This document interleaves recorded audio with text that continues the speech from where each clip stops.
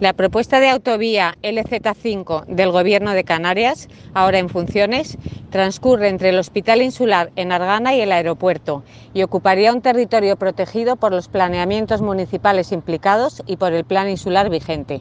El Jable dispone de altos valores medioambientales, históricos y culturales, de configuración del paisaje y refugio de biodiversidad. La propuesta LZ5 no resuelve en Playa Honda las dificultades de tránsito peatonal que causa la carretera actual, ni los problemas de acceso al hospital. La opción propuesta es mucho más cara y tiene mucho más impacto ambiental y de consumo de territorio que otras soluciones que también estaban incluidas en los informes previos de ingeniería.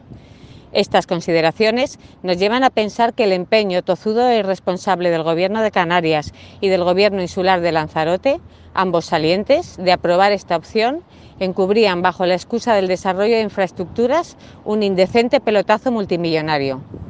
La crisis global, energética, climática, alimentaria, de movilidad y transporte, que ya vivimos, exige soluciones compatibles con la reducción del consumo de combustibles fósiles y del uso de más territorio para infraestructuras viales.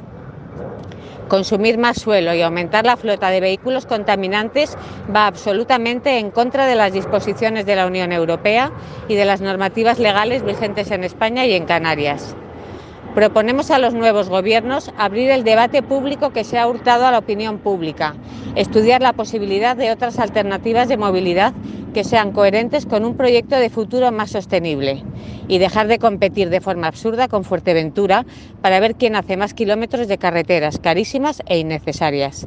La prioridad debe ser la defensa del paisaje, el frágil territorio y la rica biodiversidad de Lanzarote, así como la calidad de vida de sus habitantes. El fomento de la movilidad sostenible pasa ineludiblemente por el transporte colectivo, eléctrico y de calidad, con un adecuado diseño de líneas y frecuencias y preferiblemente de titularidad pública. Firma Alcogida, Coordinadora Medioambiental de Lanzarote.